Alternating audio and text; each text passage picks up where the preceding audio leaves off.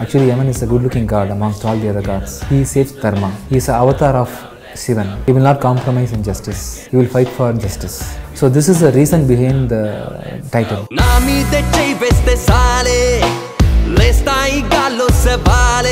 And me, Hemachandra, I really love to sing that. I really enjoyed singing that.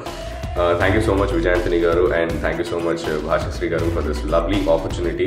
అరే నా మీదే చెయ్యి వేస్తే సాలే చూడులేస్తాయి గాల్లో సెబాలే విను నేనే రా ఓ కుర్చీ పోయినా నేను చచ్చిన చోటే ఉండాలి కాళ్ళే హద్దుల్నే దాటేసి ఎవడైనా వచ్చాడో టుపాలి టుపాలి టోలే అన్ని పాటలు రాసి తన రిప్రజెంటేటివ్ దగ్గర కూర్చొని తనకు నచ్చేలా మెచ్చేలా రాసుకొని ఆ తర్వాతే రికార్డింగ్కి వెళ్ళాను కానీ అంత ఈజీగా అయితే రాయాలి సాంగ్ అది complete out and out mass song Shahrukh Khan cinema ఒకటి ఉంటుంది.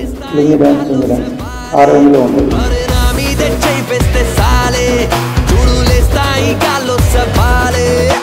Yemen one more crazy subject actual చెప్పాలంటే బికాస్ ఆయన ఏది తీసినా చాలా క్రేజీగా తీస్తారు. Wonderful song lyrics and also powerful dialogues by Bhashasri గారు.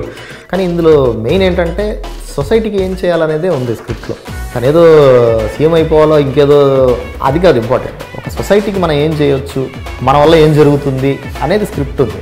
విను నేనే రా ఓ కుర్చీ పోయినా నేను చచ్చిన చోటే ఉండాలి కాలే. పద్దుల్ని దాటేసి ఎవడైనా వచ్చాడో టుపాలి టుపాలి డోలే. నా మీదే చెయ్యి వేస్తే నా మీదే చెయ్యి వేస్తే నా మీదే నా మీదే సాలే సాలే నా మీదే చెయ్యి వేస్తే సాలే movie is actually going to get released on February 24th and the music of the movie is released by Mango Music.